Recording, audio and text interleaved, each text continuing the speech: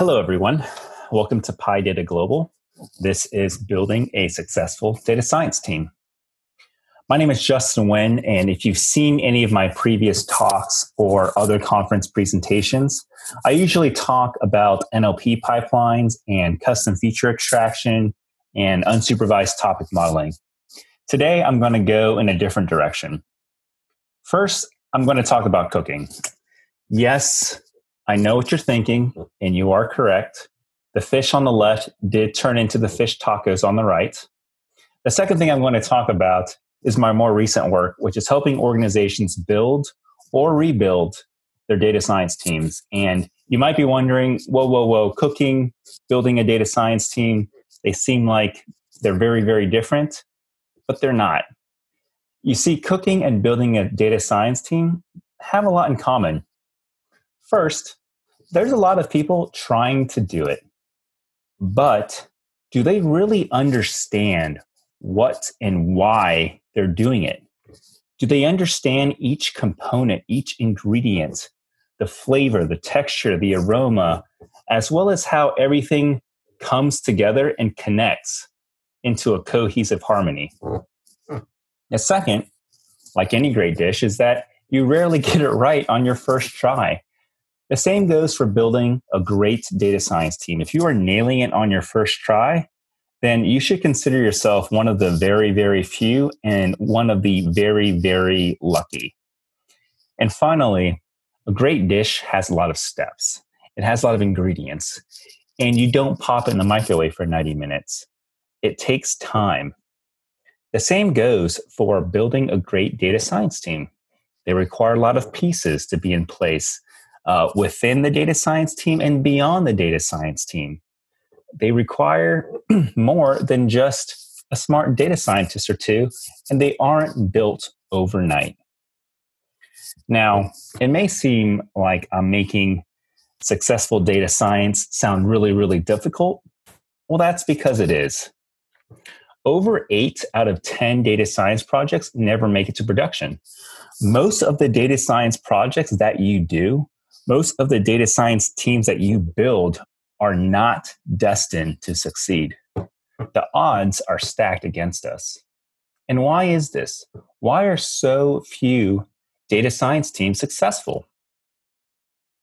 Based on the teams that I've studied, the teams that I've worked with, I'm going to share three things that are really distinguish the successful versus the not so successful data science teams. Those three things are building the right team, picking the right use cases, and rapid technical enablement.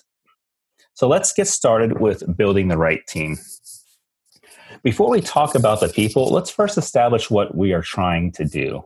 If we want to define the positions and draft the players, let's first align on what we're trying to achieve. And Successful data science, as we have all learned by now, goes beyond just the hyperparameter tuning. It goes beyond the iterative development cycles and sprints, beyond CRISP-DM. Successful data science requires success beyond data science. it requires you to find a feasible and value opportunity that hasn't been fulfilled. It requires due diligence and validating some insight. It requires lots of accurate and accessible data and so forth. It requires a lot of components, and these are really difficult challenges that you have to get right. You have to be successful at every one of these toll gates, or else your project will not be successful. You can't ignore or fail any one of these steps and still have success at the end. Fortunately, for most of us, I think, uh, we've realized that data science teams are more than just data scientists, which brings us to a more holistic approach that uh, that I've examined, where we have now, thankfully, much more of a balance. Rather than ask your data scientist to do everything under the sun, now um, unlike before, we're allowing them to focus on what they're good at by adding other people and adding other skill sets. And this is a good thing.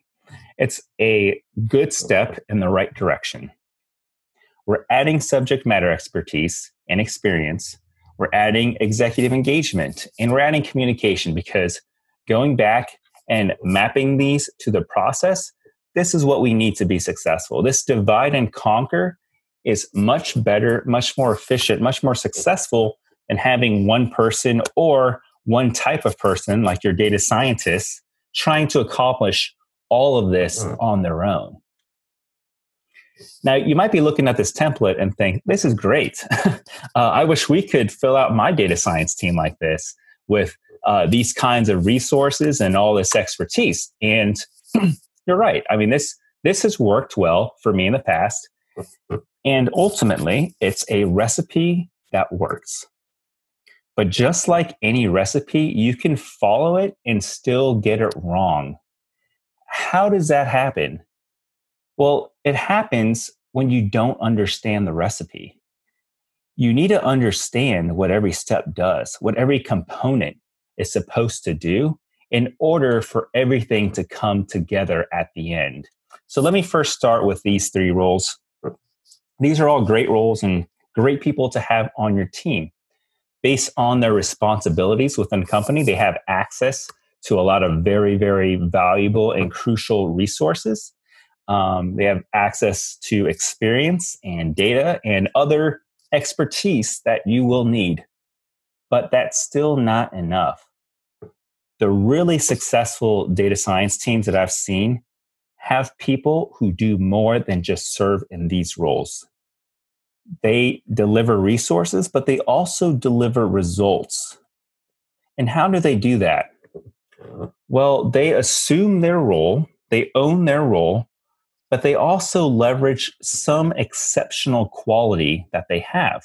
And this quality isn't a job title, it's some intrinsic and natural talent that they're known for. We all know someone or have someone in our organization who is an exceptional storyteller, innovator, or leader.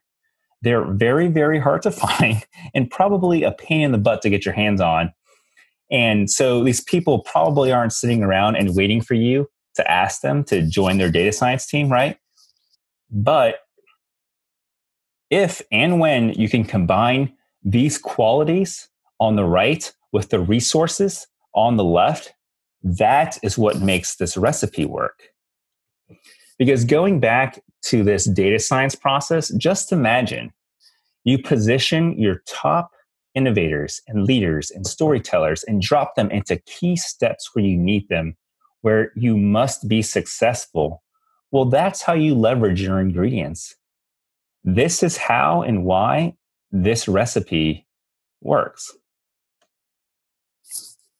So uh, let's talk about the other two roles here uh, data scientists and data engineers. And I'm sorry, I'm going to be honest with you guys. I don't have any shortcuts or secrets to getting around the recruiting and hiring headache, except for this. when you're getting recruited every week by at least three new companies every week, you start catching on and figuring out how to tell and distinguish between them.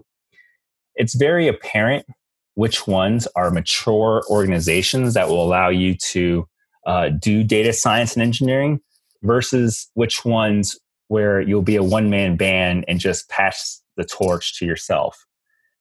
It's very obvious where you'll be successful. And if it's not obvious, then that's probably because you're a recruiter, not a data scientist. Now, my advice is to set up your data science team in a way that attracts great talent. Great data scientists want to be great at data science. Great data engineers want to be great at data engineering both want to be successful. So, this process, this support system, this collection of diverse resources and skills allows them to do that. If I'm a hotshot data scientist or engineer and you ask me to join a team with other great data scientists and engineers and innovators and great leaders and storytellers, well, that's joining a recipe for success. So, Let's move on to the second topic for today. Um, and uh, and I want to talk about cooking for a date. And I mean a date date, not your spouse or kids, but someone you're really trying to impress. So, what starts going through your mind? Well, the first thing you'll probably ask yourself is, What can I cook well? Uh, if you're like me, this is a very easy question to answer because this list is very short. The second thing you ask is, What will impress? And if you're like me again, uh, this list will be very short. Now, remember, this is a date date. So, first impressions go a long way. So, you need an early win and you want to make it a double win. You want to impress. The other thing so, cooking for a date is just one of those things where there's a lot that can go wrong, right? It's one of those things in life where you have a very, very limited number of paths to success and a seemingly limitless number of paths to failure. So, for example, maybe you decide that I have nothing in my arsenal that will impress, so I need to try something completely new, something that you've never made before. Well, this is really risky. And I don't know who needs to hear this, but your odds of success are not that good. Another thing that can happen is that you aim for perfection. So uh, you start, for example, to overthink or overdo what you're making. And as a result, you make things worse. and then last is insufficient planning. So um, you forgot to check the pantry for ingredients. You forgot to plan dessert. Uh, you forgot she had a shellfish allergy. The list goes on.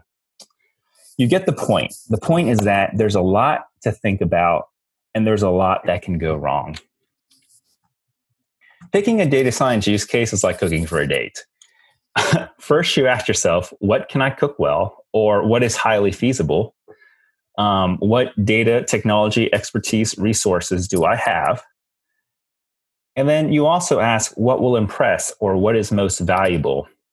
Which use cases will deliver the most value? Also, same rule applies. First impressions go a long way. So your early wins need to be double wins. And then the same pitfalls apply. You can try something completely new and outside of your wheelhouse. You can build R2D2 or an Iron Man suit, but that's pretty risky. Um, another pitfall is aiming for perfection, right? And data science, data science is about pro- progression not perfection. So, aiming for the perfect machine learning model is a really great way to bankrupt yourself and waste a lot of time. And then finally, insufficient planning. And this is the most common pitfall that I see. Um, the success of your use cases will be determined by your planning. Planning your use cases is where companies often trip and they don't get their value out of data science. so, how do you plan? Well, for starters, go back to those questions. Determine first what is highly feasible. I often call this uh, the art of the possible. And this means gathering leaders from across the organization and brainstorming all of the possibilities, um, all of the pain points, all of the nice to haves. And this sounds tedious, but um, it's really not. It gives people an opportunity to be heard and to share their ideas on how to improve the business. And usually these discussions are a lot of fun. Once you determine the art of the possible, now you want to prioritize them into the art of the valuable. You want to rank these based on the measurable value that they return. Now, again, your use, your early wins need to be double wins. So prioritize use cases that will impress your organizations or your customers. Now, um, let's say you go through all these all these steps and now you have your use cases picked. I want to talk about a step that often gets skipped, even though it makes a huge difference.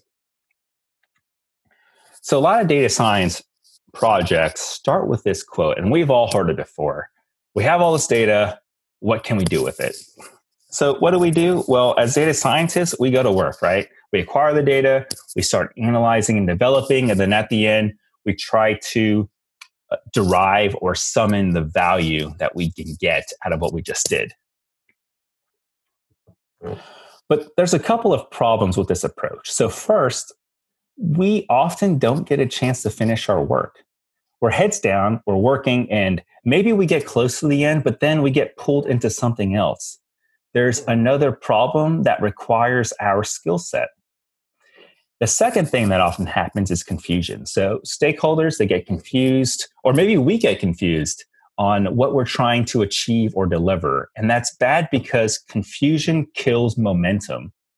We talked earlier about evangelism and storytelling. Well, we can't get buy in from outside of the data science team if there's confusion or zero energy. Point being, the likelihood of success for whatever this use case is is very, very slim. A better approach is to spend more time planning up front. Now, you still need to do the other steps. You still need to acquire the data and analyze and develop and so forth. But before you do, you do two things. The first is you identify and study the actual problem or pain point that you're that you're solving. And then the second is you establish your KPIs up front. By doing a little bit more planning here at the beginning, it resolves the two issues we saw earlier. So, first, it protects you from the scope changing. Now we know what we're focusing on um, before anyone tries to import Pandas or sklearn. And then, second, it eliminates the confusion by setting very clear goals that we are marching towards, goals that can be communicated, and goals that everyone is aware of. This is a very, very simple step and it solves a lot of headache down the road. So after you do your due diligence and planning and you finally hit the ground running, it's time to start executing your use cases. By now, we all know that data science is very different than your traditional and slow moving IT. For example, traditional IT is uh, heavily focused on minimizing risk, whereas data science is very risky and focused heavily on rapid experimentation. Good data scientists will fail fast and deliver rapid and incremental wins. A lot of the do's versus don'ts on here go back to some of the themes we talked about earlier. Um, and to summarize, it's don't aim for, for don't aim for perfection, aim for progression, and make sure you're focused on delivering value. Build what will impress your business or customers. This brings us to the third and final topic for today rapid technical enablement. So, I'm going to assume that by now we've all realized that data science teams need loads of data and databases and compute and tools and so forth. So, I'm not going to talk about those. Instead, I'm going to talk about going beyond that in other ways um, that you can empower your data science team. So, another way of phrasing this is uh, the question I want to address is how do I support my data science teams? And this is a very non trivial question, right? I mean, everyone is trying to poach everyone. So, how, uh, how do you be successful while also retaining and keeping your folks happy? So, there's an author, speechwriter, and lawyer named Daniel Pink. He studied a bunch of successful technical teams, and he came up with this theory that I think works really well for data science teams. It's basically that high achieving individuals are driven to pursue three things mastery, autonomy, and purpose. so let me start with mastery. Good data scientists always want to grow. Data science is constantly evolving, and you need to evolve with it. Does your data science team have that access to grow and evolve? Are there a wide range of experts to learn from? Uh, do your data scientists get to attend webinars and conferences like PyData? Are they involved in user groups and so forth? or are they uh, the one man band that we talked about earlier? Are they siloed? Um, are they always just constantly working and putting out fires without having the time to invest in themselves. The next is autonomy. And this is really about ownership. So, one thing I like to tell people on my team is that you have 51% of the vote or decision, but 100% of the accountability, meaning that you ultimately decide on the strategy, the tactics, and the how, but you also own the outcome. It almost becomes personal. Um, and it's no secret that if you're completely responsible for the outcome, you're going to make sure the outcome is pretty dang good. And then the last is purpose. So we all want to do impactful work that makes a difference. Um, and we all know that we should establish and communicate this purpose. The thing that we forget is that we forget, especially when you're a data scientist or engineer. Um, it's just, it's very easy to lose track of what you're doing all of this for. And so don't forget to remind your teams and bring them back out of the shadows. So anyway, this is an overview of, um, of mastery, autonomy, and purpose. It's a good guide and barometer to gauge how you can support your data science teams. um, and really ask yourself, are you giving them all three of, uh, of these things? Because if you are, you're in a good spot. You're, you're better than most. Um, but if we go back to the question of supporting data science teams, especially kind of that data science specific component, there's two more things that uh, that I've noticed and I want to call out. The first is creating the experience, which is something I see data science teams struggle with a lot. So we're going to go back to cooking for a second. If you're a practical person like me, you've probably wondered why pay so much for a restaurant. A $20 rack of lamb at a grocery store is at least $70 at a restaurant.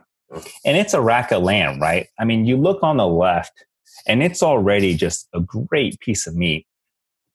The only difference between the picture on the left and the picture on the right is 20 minutes on the grill.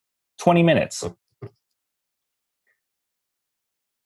As data science teams, we often produce this great model or great insight, but what's missing is that last 20 minutes. It's that narrative, it's that experience. It's that last 20 minutes on the grill, which is what people pay a lot of money for. And I don't mean diagrams or knowledge graph projections or topic modeling visualizations or IDEs or even word clouds or whatever charts, graphs, whatever. I mean this Mark 1, introduce yourself. Hello, I'm a combination of mobile AI and Spark Technologies. I was built by Justin Nguyen in early 2019. So far, my AI includes NLP, computer vision, and data analysis. I can be programmed and trained to do almost anything.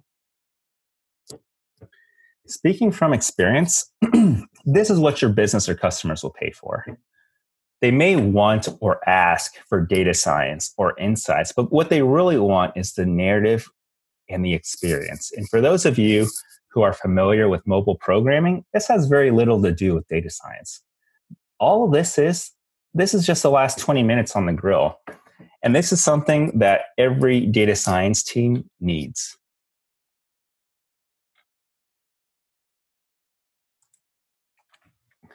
The last thing that every great data science team needs is a servant leader. So Vince Lombardi once said the importance of, he once emphasized the importance of blocking and tackling. I'm here to tell you that this applies in data science as well.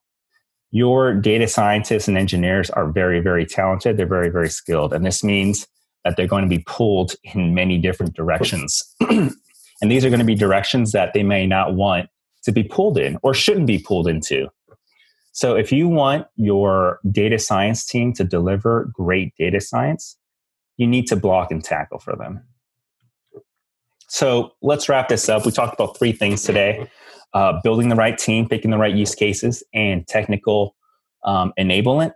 So, some closing thoughts. First, make sure you fill the right roles on your team and understand the parts they play. You need resources as well as skill sets. Don't just follow the recipe, but develop a deep understanding for it.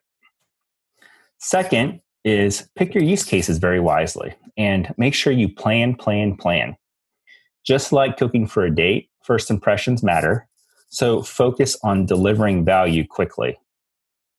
And then last is give your data science teams mastery, autonomy, and purpose. That's a great start. But once you have that established, give them more. Lead them to deliver that full experience and narrative that your business or customers will pay a lot of money for. and then also make sure that you block and tackle for them along the way. I'd like to thank all of you for attending my talk today.